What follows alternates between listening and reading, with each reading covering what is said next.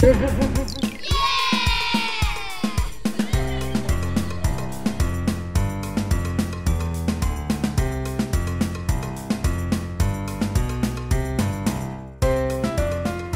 vamos a hacer pororó en la máquina nueva, que no sé cómo se usa, pero vamos a probar. Yo creo que acaba el pororó. A ver, pororocito. No, Patti, ¿qué pasó? ¿Qué estás haciendo? Pororo, así no se hace. Pero, ¿y cómo se hace? ¿No leíste el manual? No. En el manual dice que así no se hace. Calay, pero... Mira que está... Cala, cala, cala, ¿qué? No. no, no, no. ¡Está saltando! No, Calay. Hola chicos, ¿cómo están? Soy la profe Patti. Perdón por el desastre con el pororo.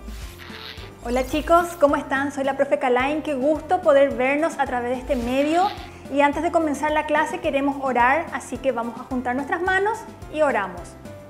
Señor, te damos gracias por este día. Te pedimos que a través de tu Espíritu Santo hoy nos enseñes sobre esta lección, que podamos aprender más de tu palabra, que es el manual de vida que nos dejaste. En el nombre de Jesús, amén. Amén. Chicos, ¿recuerdan que en la clase pasada el profe Charlie nos contó que venía un ángel que despertaba a Elías y le alimentaba?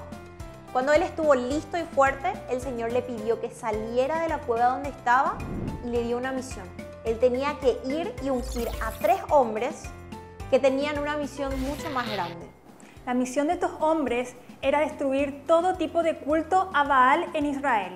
Y esta historia se encuentra en Primera de Reyes 19, desde el versículo 19 al 21. Entre estos hombres estaba quien iba a ser el sucesor del profeta Elías. Veamos la historia. Entonces Elías fue y encontró a Eliseo, hijo de Safat, arando un campo.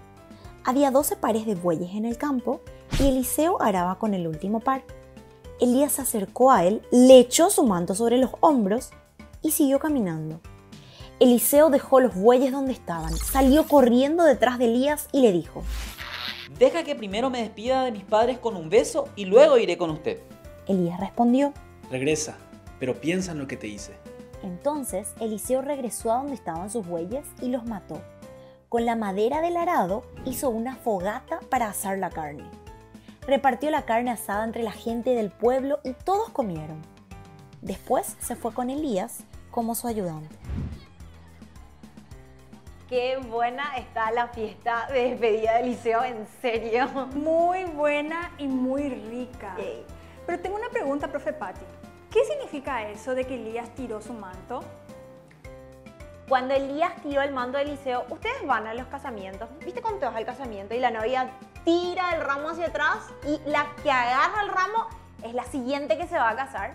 De la misma forma, cuando Eliseo- Elías puso el manto sobre Eliseo, simbolizaba que el siguiente profeta, con todos los superpoderes que el Señor le había entregado, iban a ser dados.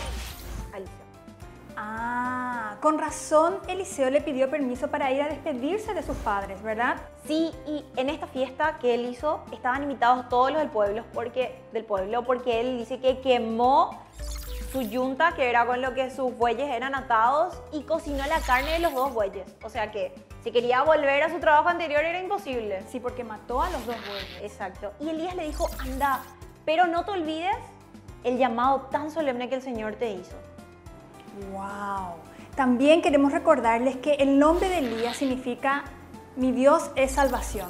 Y también decirles que la relación entre Moisés y Josué era similar a la de Elías y Eliseo. De hecho, en la Biblia se utiliza el mismo término de siervo o ayudante que se usó con Josué. ¡Wow! ¡Qué increíble, profe! Hay cosas muy importantes en cada historia y nosotros tenemos que conocer todos esos detalles de la Biblia. Para poder entender mejor la palabra de Dios. Chicos, si no leemos las instrucciones, pasan desastres como lo que me pasó a mí con el pororo. Así que hoy la aplicación práctica que tenemos sobre la vida de Eliseo fue que él, cuando Elías le dio una instrucción que fue clara al ponerle su manto, él fue muy obediente. Por eso nosotros tenemos nuestro manual de instrucciones, que es la Biblia, la palabra de Dios. Aquí está todo lo que Dios nos ordena hacer, lo que tenemos que hacer y lo que no tenemos que hacer. Profe Calente llegó un mensaje. ¿Qué es? Mi mamá, tengo que limpiar mi pieza. El versículo que vamos a memorizar esta semana se encuentra en Juan 12:26. Todo el que quiera servirme debe seguirme, porque mis siervos tienen que estar donde yo estoy. El Padre honrará a todo el que me sirva. Chicos, oramos para cerrar la clase. Señor, te damos gracias por mostrarnos a través de la vida de Elías y Eliseo todo el poder que tenés y que nosotros también podemos ver, Señor. Hoy en día, ayúdanos a seguir creyendo en tus milagros, en tus maravillas. Queremos poner toda nuestra confianza en vos y aprender a seguir tus instrucciones, Señor, a obedecer a nuestras autoridades, a nuestros padres. Ayúdanos, por favor, Dios, esta semana a poder recordar y memorizar el versículo.